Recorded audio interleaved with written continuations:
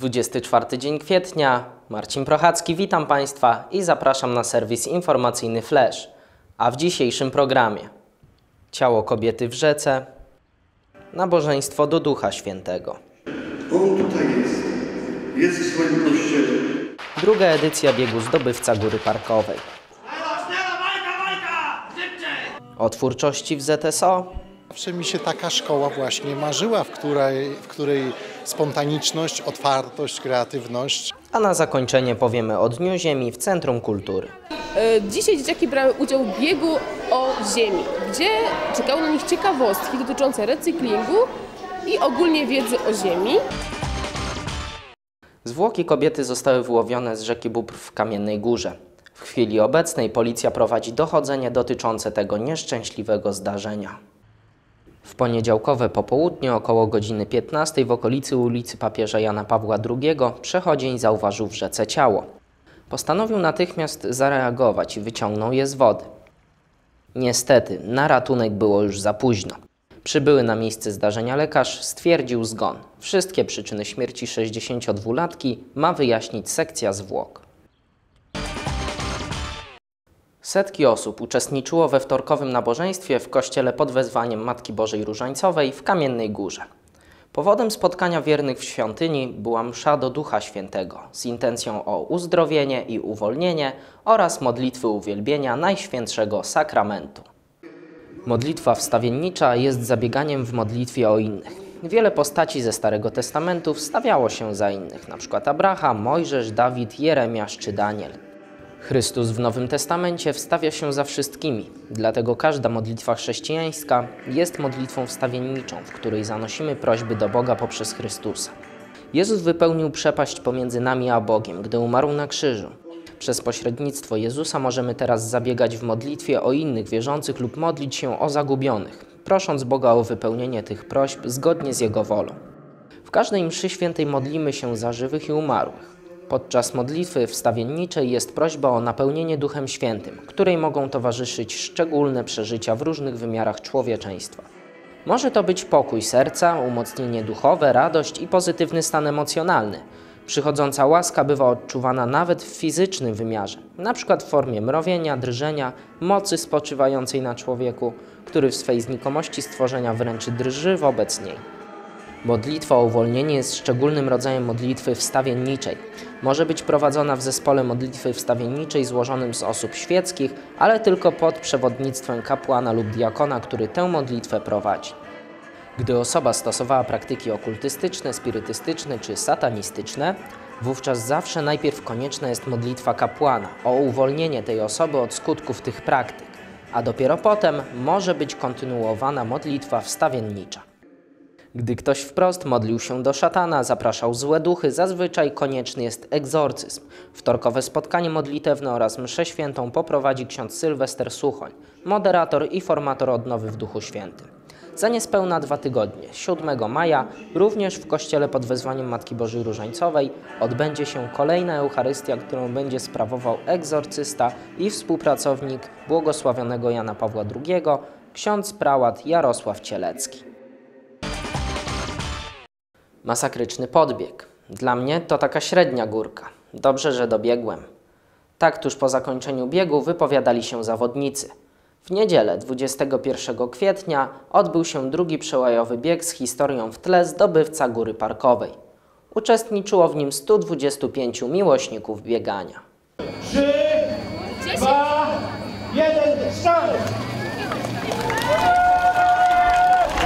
Wystartowali punktualnie o godzinie 12 ze stadionu miejskiego w Kamiennej Górze.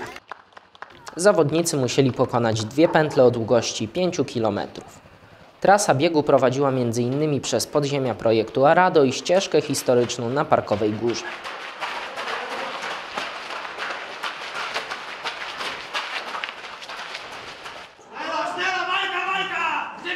Najszybsi zawodnicy nie poświęcali swojej uwagi na podziwianie karabinów, skrzydła samolotu czy artylerii. Liczyło się utrzymanie tempa i niepoddanie się stromemu podbiegowi. Był bardzo wymagający. O ile podczas pierwszej pętli można było go w całości podbiegnąć, w drugiej wyczyn ten udał się nieliczny. Pierwszy na mecie wyścigu z czasem 36 minut 27 sekund zameldował się Piotr Holy, zwycięzca ubiegłorocznego biegu. Pół minuty zanim dotarli Krzysztof Hammer i Władimir Bondarenko. Drugi raz pierwszy, dokładnie, ta trasa mnie po prostu przyciąga, to laboratorium mnie przyciąga, które pod ziemiami można biec, naprawdę bardzo super trasa. Trasa była bardzo wymagająca, co słychać w komentarzach. 10 km z takimi podbiegami to nie lada wyczyn. Jeszcze jedno kółeczko. Jak się biegło? No, dla mnie był bieg bardzo przyjemny, pogoda dopisała atmosfera, no choć trasa bardzo trudna jest, ale uważam, że kto trochę biega, no to trochę trasę wytrzymał. Dla mnie to to powiedzmy średnia. Trasa rewelacja. Rewelacja, trasa, fajne podziemia, kurczę, coś e, rzadko spotykanego. Bardzo trudna i ciężka. No dobrze się biegło. Trasa trochę taka no, górzysta, tam zwłaszcza ten pag jest ciekawy. Te podziemia są no, takie super. Pomimo, że jest ciężki podbieg, ale zmierzyć się z nim jest naprawdę mm, sukcesem, tak, żeby nie stanąć, y, tylko cały czas biec. Na trasie było super, pogoda nam dopisała. Panie, z którymi biegłem na końcu, bardzo sympatyczne panie. Jedna pani z Kujawsko-Pomorskiego, akurat tu jest sanatorium i wykorzystała tą okazję do tego, żeby, żeby się przebiec, żeby przebiec ten dystans. Masakryczna. Super trasa. Bardzo się dziwię tylko, że tak, e, że tak powiem, niewielu chyba kamiennogórzan tutaj wystartowało. E, zmienimy to. zmienimy to, bo chcemy e, stworzyć taką grupę osób, które będą biegać na przeróżnych dystansach, krótkich, długich, e, bardzo długich. Miejmy- Mamy nadzieję, że już dzisiaj możemy zaprosić wstępnie osoby do wspólnego biegania i mam nadzieję, że tych ludzi będzie coraz więcej i na, w przyszłorocznym biegu będzie co najmniej połowa, to będą kamiennogórzanie. po prostu będziemy ten bieg reklamować. I ja wiem, że Polsce jest wielu biegaczy i oni chętnie przyjechali do Kamiennej Góry, ale mam nadzieję, że nasi rodzimi biegacze również już w następnych edycjach dopiszą. Uczestnicy z zewnątrz są pod wrażeniem tego, co zobaczyli. Ja jestem zauroczony całą trasą, bo również e, te pola, z- pagóreczki, ta, ten szczyt, góra parkowa wspaniała była. No trasa, no ładna trasa, bardzo ładna. Jestem, jestem szacunek dla, te, dla tej trasy. No, Niemiec stał oczywiście, który nas sznela, sznela poganiał. Podziemia były bardzo ciekawe, pójdziemy zwiedzać po zawodach. Cała trasa elegancko zrobiona, zabezpieczona. Ten, te dwa przebiegi przez podziemia ciekawe. W zdobywcy Góry Parkowej wystartowali również prawdziwi weterani biegów przełajowych. Pan Czesław z Jeleniej Góry ma 73 lata. Z uśmiechem na twarzy zgłosił się do wyścigu za namową Edwarda Kościaka. Przebiegłem. Jestem szczęśliwy, że przyjechałem, że tutaj koledzy, koleżanki biegają, spotkaliśmy się, porozmawiamy o treningach, o bieganiu i na następny bieg. No w ogóle dobra trasa, tylko trochę tam w tych katakumbach czy coś uderzyłem się, było ciemno, skręciłem w prawo, a tam mur. A no tak, ja jemu poleciłem, ale nie wiem, czy on nie przyjechał tutaj, żeby mnie dołożyć tutaj. Będę się musiał dowiedzieć, czy on był przede mną, czy za mną. Kamiennogórzanin okazał się jednak o 9 minut szybszy. Czasie, kiedy odbywał się bieg główny, na jednej ze ścieżek rywalizowały dzieci z kamiennogórskich przedszkoli. Mały zdobywca góry parkowej przyciągnął mnóstwo rodziców, którzy dopingowali swoje pociechy. Jako pierwsze wystartowały dziewczynki. Ich szybkość zaskoczyła naszego operatora. Po nich ścigali się chłopcy, sfilmowani już z bezpiecznej odległości.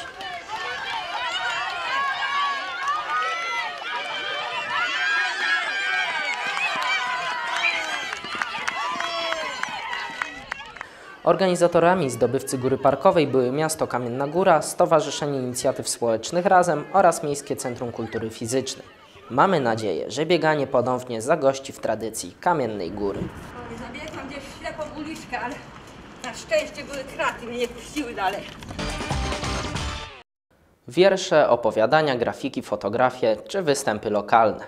To tylko część twórczości, którą utalentowana młodzież wyciągnęła z głębin szuflady. Pod taką nazwą odbyło się spotkanie w czwartek 18 kwietnia w Zespole Szkół Ogólnokształcących. Pragniesz zaprezentować to, co chowasz w głębi Twojej szuflady? Wiersze, opowiadania, powieść, fotografie, obrazy? Czujesz się chociaż trochę artystą, lubisz recytować, lubisz śpiewać? W taki sposób młodzież z Liceum Ogólnokształcącego w Kamiennej Górze oraz z innych szkół została wywołana do uczestnictwa w wieczorze literackim. Na powyższe pytania wiele osób odpowiedziało tak i pod parasolem lampy zaprezentowało swoje talenty. Kiedy robi rano jajecznicę, zachodzisz od tyłu, kradniesz buziaka, tulisz, w końcu całujesz i wszystko się przybala. Kto ma takie dziwne oczy? Eurydyka.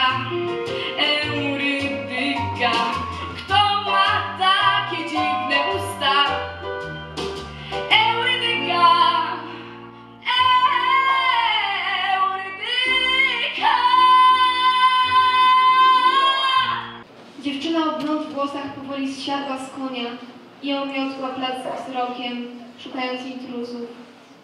Po chwili rozluźniła się. Rozpięła klamrę pod szyją i odrzuciła na bok ciemną szatę, mówiąc Nikogo tu nie ma, Korynki. Koń zarżał cicho i po kilku sekundach w miejscu kasztanki pojawiła się dziewczyna o ciemnych włosach i pelerynie niczym sierść konia.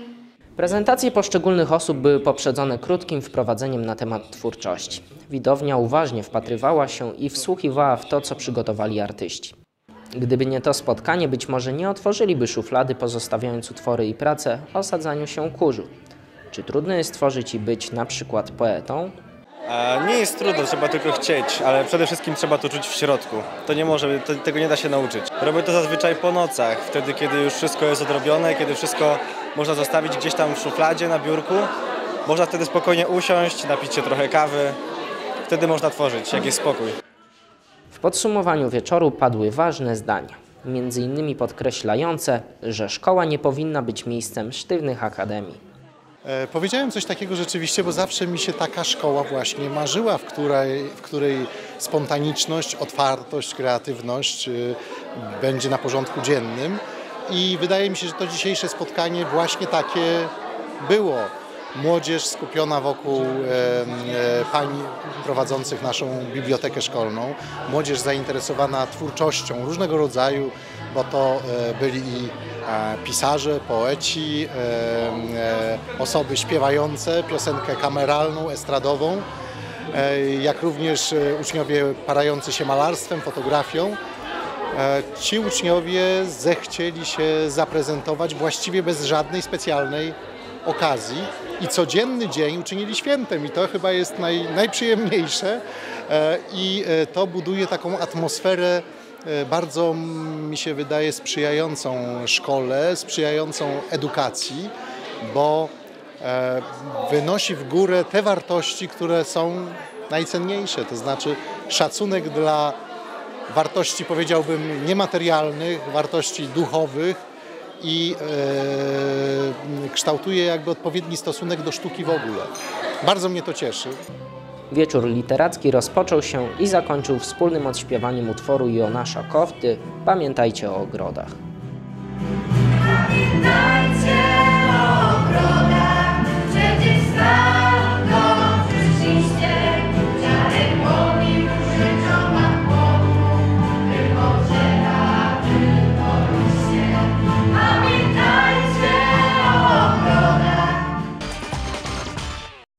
Kamiennogórskie Centrum Kultury zorganizowało w swojej siedzibie Dzień Ziemi.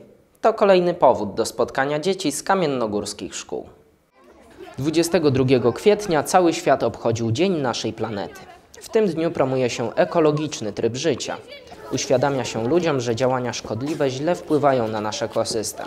Dzieci ze szkoły podstawowej wiedzą to bardzo dobrze i potrafią dbać o Matkę Ziemię. Dzień Ziemi, Światowy Dzień Ziemi. E, Dzisiaj dzieciaki brały udział w biegu o Ziemi, gdzie czekały na nich ciekawostki dotyczące recyklingu i ogólnie wiedzy o Ziemi. E, Dostały też zaproszenie na festyn rodzinny pod hasłem Sztuka Recyklingu na 25 maja, który organizujemy dla wszystkich rodzin kamiennogórskich. E, A teraz drugi turniej wiedzy o Ziemi, który za chwilę się zacznie. Reprezentanci szkoły numer 2 pokażą nam, jaką mają wiedzę o Ziemi, recyklingu, o świecie. Z dziedzińca Centrum Kultury nasi milusińscy wyszli na poszukiwania kartek z informacjami na temat ekologii. Za pomocą map naszego miasta dzieci dotarły do ratusza, gdzie w jednej z sal Agnieszka Jaksoń przygotowała dla przybyłych pytania i nagrody w postaci cukierków. Po zmaganiach w Urzędzie Miasta na Maluchów czekał konkurs wiedzy ekologicznej w placówce kulturalnej. Każda z czterech klas biorących udział w obchodach miała swoich przedstawicieli. Pytania były dość trudne, lecz dzieci poradziły sobie z nimi wzorowo. Yy, jeszcze rozstrzygniemy konkurs plastyczny i literacki dotyczący również Dnia Ziemi, a także rozdamy nagrody, nagrody, liczne nagrody za to, co dzieciaki przygotowały, za to, jak będą dopingowały, za to, jak będą się dzisiaj bawiły. W kategorii klas 1-3 najbystrzejszy i najszybszy był Kacper Pasiut. Druga z kolei była Kamila Kołodziej, natomiast ostatnie miejsce na podium zajęli egzekwo Jakub Gęborys i Alicja Łuczkowska. W klasach najstarszych na kolejnych miejscach uplasowali się Hubert Czoch, Mikołaj Potoniec, Filip Gugała i Amelia Szemiako. Wszyscy zwycięzcy dostali nagrody w postaci skromnych podarunków i cukierków. Dziękuję Państwu za uwagę i zapraszam na kolejne wydanie programu informacyjnego Flash. Do widzenia.